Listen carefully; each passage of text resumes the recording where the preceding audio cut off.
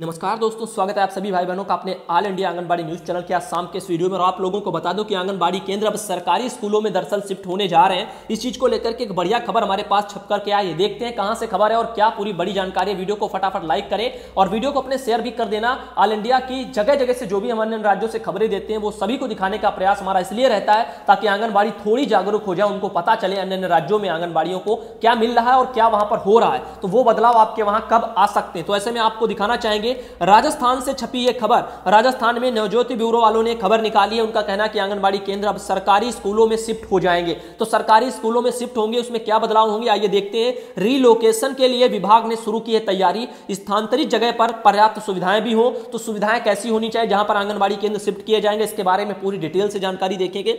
आंगनबाड़ी केंद्र स्थापना के लिए नियम क्या है तो पहले सबसे पहले हम नियमों को ही जान लेते हैं, उसके बाद पूरी डिटेल से जानकारी को पढ़ेंगे। लिखा है ग्रामीण या फिर शहरी, परियोजना में 400 से 800 आबादी पर एक आंगनबाड़ी केंद्र खोला जा सकता है। तो ये एक यहाँ पर बड़ी खबर आ रही है राजस्थान से। साथ ही दूसरा लिखा है, आदिवासी जनजाति क्षेत्र में 300 से 800 की आबादी पर एक आंगनबाड़ी केंद्र खोले जाने का प्रावधान है। साथ ही आप लोगों को बता दूँ, तीसरा पॉइंट आप देख सकते हो, रेगिस्तानी एवं पहाड़ी क्षेत्रों में गाँव की आबादी बिखरी हुई है और दूर दूर फैली हुई है। इसीलिए तीन सौ की जनसंख्या पर भी एक केंद्र खोले जा सकते हैं। तो यहाँ पर आंगनबाड़ी केंद्र भारी मात्रा में खुलने के लिए राजस्थान से खबर नवज्योति ब्यूरो वालों की तरफ़ से जानकारी आ रही है। साथ ही आप लोगों को बता दें, एक और यहाँ पर देख सकते हो, जनजाति बहुल्य ग्रामीण क्षेत्रों में 150 से 300 तक की आबादी एवं सामान्य ग्रामीण क्षेत्र में 150 से 400 तक की आबादी पर मिनी आंगनबाड़ी केंद्र खोलने का प्रावधान है। तो ये नियमों को आपने जान लिया। नए केंद्र जो राजस्थान में खुलने के लिए कुछ ऐसी बातें हैं, ये कुछ नियम, कायदे, कानून है।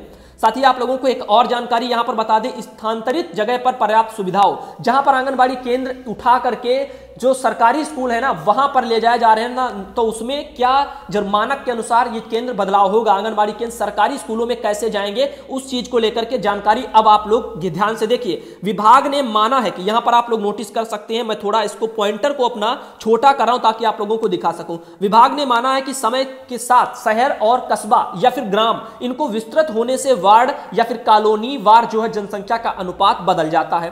ऐसी स्थिति में आंगनबाड़ी केंद्र की रीलोकेटेड वगैरह उनको करना यह ज़रूरी हो जाएगा। आंगनबाड़ी केंद्र की रीलोकेट करते समय यह देखना होगा कि स्थानांतरित जगह पर पर्याप्त भूमि, भवन पानी की सुविधा, गर्भवती महिला और बच्चों की पहुँच आसान रहे। कहने का यह मतलब है, बहुत सी आंगनबाड़ी की समस्या हमने देखी है। उनका कहना है कि उनका केंद्र, जो आबादी है, वहाँ से दो किलोमीटर दूर, तीन किलोमीटर दूर। अब उतनी दूर चलकर के कोई गर्भवती महिला जा नहीं सकती। छोटे बच्चे भी जाने के लिए बहुत ही दिक्कत होगी। आंगनबाड़ी पहने, में पढ़ने वाले, मासूम बच्चे, चाहे गर्मी हो चाहे सर्दी हो इतनी दूर लंबा पैदल पैदल जो तीन तीन किलोमीटर का सफ़र कैसे तय कर पाएँगे? तो यहाँ पर पास में होना चाहिए आबादी के, जहाँ पर जो है हर कोई पहुँच सके तो लिखा है, आंगनबाड़ी कार्यकर्ताओं की अधिकतम यात्रा दूरी शहर से पाँच किलोमीटर से अधिक नहीं होनी चाहिए। तो यहाँ पर पाँच किलोमीटर की दूरी रखी गई, लेकिन ये पाँच किलोमीटर की दूरी भी अधिक है मेरे ख्याल से। पैदल बच्चे नहीं जा सकते, महिलाएँ नहीं जा सकती और पैसा खर्च करेगा तो फिर आंगनबाड़ी या फिर में आने वाले जो बेचारे गरीब लोग हैं, उनका पैसा जेब से जाएगा। लिखा क्षेत्र में तीन किलोमीटर और आदिवासी क्षेत्र में डेढ़ किलोमीटर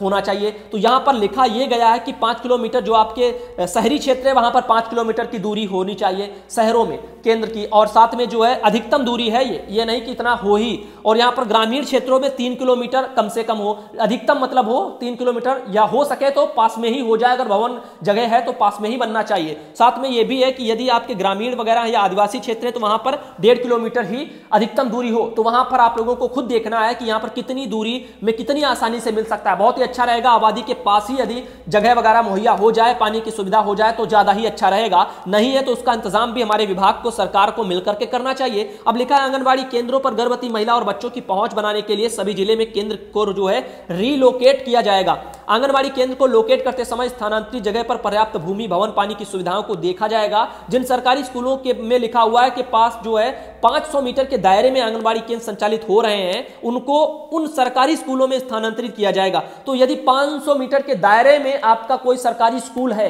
तो आपका आंगनबाड़ी केंद्र उठ करके उस सरकारी स्कूल में जो है राजस्थान में पहुँच जाएगा। लेकिन महिला एवं बाल विकास विभाग ने सभी स्वीकृत, संचालित और अक्रियाशील वगैरह जो है, आंगनबाड़ी केंद्रों के सत्यापन का भी फैसला लिया है। विभाग ने उपनिदेशकों को केंद्र सरकार के पत्र के आधार पर कहा है कि जिन आंगनबाड़ी केंद्रों पर पंजीयन के अनुपात में उपस्थित अत्यंत कम है, वहाँ समुचित स्थान पर रीलोकेशन की कार्रवाई की जाएगी। जहाँ बच्चे कम आ रहे हैं, कम आपके लाभार्थी हैं तो वहाँ पर उनका बदलाव जल्दी देखने को बहुत ही ज़्यादा जो है मिल जाएगा। फ़िलहाल के लिए बहनों, बढ़ते हैं। अगली खबर की तरफ़ आपको बता दें, यहाँ पर सुनंदा तिवारी बहन कुछ कहना चाहती है, उनकी बात को हम रखना चाहेंगे आज के शाम के इस वीडियो में, और उन्होंने कई बार हमें फ़ोन भी किया, लेकिन नियम कायदे एक जैसे हैं तो इस वजह से माफ़ी चाहूँगा सभी बहनों को, क्योंकि फ़ोन वगैरह कॉल से बातें नहीं हो सकती। हर आंगनबाड़ी बहनें बहुत ज़्यादा फ़ोन करती इस वजह से। जो नियम कायदे कानून है कि व्हाट्सएप से ही मैसेज करिए, और चाहे वो कोई भी हो, चाहे आंगनबाड़ी वर्कर बहन हो या हमारे फिर यूनियन की भाई बहन हो, हर किसी के लिए हमारी जो है ये एक प्यार है, वो बराबर है। तो यहाँ पर आपको बता दें, बहन का मैसेज है, उसे मैं दिखाना चाहता हूँ। बहन ने जो भी लिखा अच्छा लिखा है, उनका कहना सुधांशु भाई आपका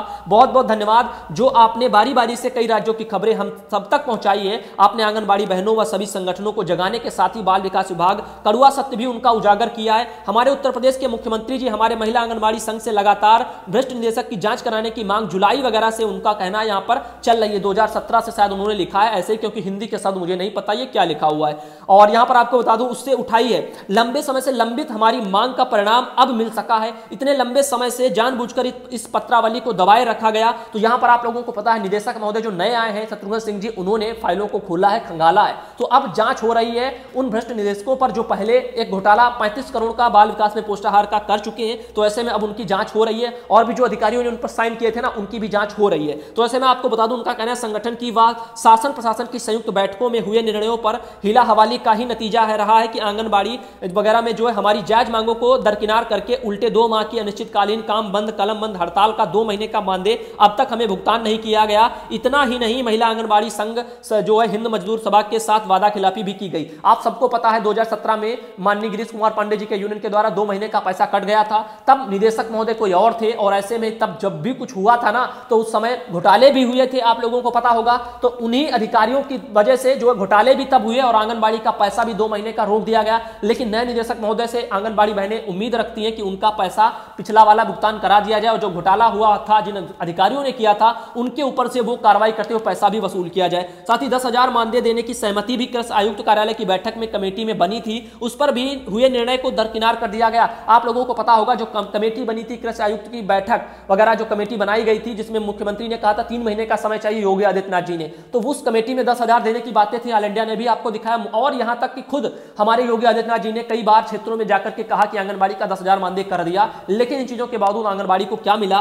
सिर्फ़ धोखा मिला। लिखा है, नो वर्क, नो पे का आदेश देकर निदेशक महोदय ने हमें संविधान के प्रदत्त अधिकारियों की घोर अवहेलना की। निदेशक के द्वारा नोटिस दिए दिए, देने के दिन से ही आंगनबाड़ी बहनों को डराने, धमकाने का काम भी शुरू हो गया था। आप लोगों को पता होगा ऑल इंडिया ने हर चीज़ को दिखाया। जो भी एस्मा लगने के लेटर थे, आंगनबाड़ी को धमकी दी जा रही थी कि आंगनबाड़ी जो है धरने में जाएँगी तो सेवा समाप्ति कर देंगे। इन सब चीज़ों के बावजूद ऑल इंडिया बराबर डटा रहा और यहाँ पर बाकी हमारे यूनियन भी कुछ डटे रहे। उनकी मेहनत का फल रहा कि आंगनबाड़ी को कुछ मिला, लेकिन सरकार की उसमें चालबाजी रही कि उससे मानदेय की जगह प्रोत्साहन कर दिया और वो भी डेढ़ साल से मिल नहीं रहा। तो कहीं ना कहीं आंगनबाड़ी इस सरकार से ज़्यादा खफा है, उनके अंदर ये रोष व्याप्त है। शुरू कर दिया गया, लेकिन आगे लिखा लेकिन इसके बावजूद बहादुर बहनों ने सभी जनपदों में लगातार दो माह तक आंदोलन सफलतापूर्वक चलाया था। मुझे खेद है कि आंदोलन को शीर्ष तक ले जाने वाली बहनों को दो माह का मानदेय, तानाशाही, हिटलर शाही रवैये के अनुसार रोका गया। तमाम बहनें आज भी दो माह से मानदेय से वंचित है, जो सरकार अन्याय वगैरह कर रही है, भले ही हम न्यायालय की शरण में है और मामला विचाराधीन है, पर अवैध तरीके से रोके गए मानदेय के कारण आज तक महिलाएँ वगैरह बड़ी संख्या में संघ से दूर हैं। वहीं पर लिखा है, परंतु गीता का यही उपदेश है कि कर्म करना आपके हाथ में है, उसका फल देना उस परम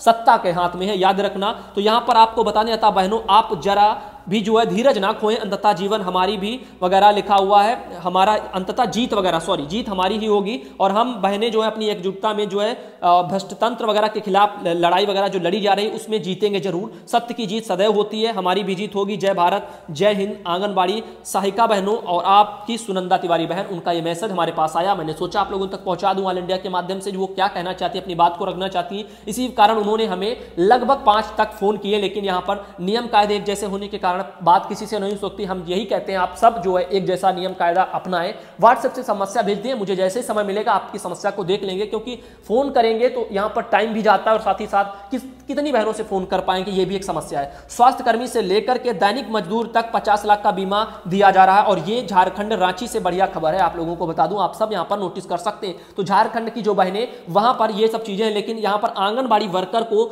वहाँ झारखंड सरकार ने लिखा नहीं है कि आंगनबाड़ी वर्करों को भी पचास लाख का बीमा वगैरह दिया जाएगा। इसके बारे में हमने इस चीज़ को पूरा पढ़ा है। तो यहाँ पर स्वास्थ्यकर्मी जो है, उन लोगों को यहाँ पर जानकारी दी गई। लेकिन हमारी आंगनबाड़ी वर्कर को झारखंड सरकार भी, उनने भी नहीं लिखा कि यहाँ पर आंगनबाड़ी को जो है बीमा वगैरह हम देंगे। बाकी कोविड 19 से जुड़े इन्हें मिलेगा बीमा का लाभ। सरकारी स्वास्थ्य सेवा प्रदाता, सामुदायिक स्वास्थ्य कर्मी निजी अस्पताल कर्मी सेवानिवृत्त स्वैच्छिक कर्मी सहायता सॉरी स्थानीय शहरी निकाय, केंद्रीय अस्पताल, केंद्रीय राज्य, केंद्र शासित प्रदेश के स्वायत्त अस्पताल। तो जितने भी अस्पताल वाले हैं उनको और जो आपके दैनिक मजदूरी और एडहॉक आउटसोर्सिंग जो कर्मी लगे हुए हैं, एंबुलेंस वाले जो भी हैं, उनके उनके लिए और डेवलपमेंट जो पार्टनर वगैरह, डब्ल्यूएच वाले हैं, उनके लिए यूनिसेफ और आपका यूएनडीपी वगैरह, झारखंड के कर्मी उनके लिए उन सभी स्वास्थ्य कर्मी सदस्यों को जो जीवन बीमा का लाभ मिलेगा, उसका उल्लेख पत्र में नहीं है। किंतु वे झारखंड सरकार के अंतर्गत प्रत्यक्ष और अप्रत्यक्ष रूप से कोविड नाइन्टीन के मरीज़ की सेवा प्रदान कर रहे हैं तो उन सबको इस समय रखा गया है। तो यहाँ पर आपको बता दें, यहाँ पर उनका कहना है, लेकिन आंगनबाड़ी का पर ज़िक्र नहीं है, जिसके कारण हम ये नहीं कह सकते कि आंगनबाड़ी को झारखंड सरकार बीमे का लाभ देगी। तो मैं चाहता हूँ, झारखंड सरकार यदि बीमे में आंगनबाड़ी वर्कर को भी शामिल किया है तो यहाँ पर एक जानकारी झारखंड यूनियन के द्वारा भी हम तक पहुंचाई जाए। उसके लिए मैं उम्मीद करता हूँ, हमारे झारखंड के यूनियन भाई कुछ सहयोग करें। जानकारी पूरी सटीक भेजे। यहाँ पर जो खबरों में चल रहा है, उसमें यह नहीं पता चलता कि आंगनबाड़ी को झारखंड सरकार जो है कुछ देने वाली है। फ़िलहाल के लिए मिलते हैं आपको अगले वीडियो में।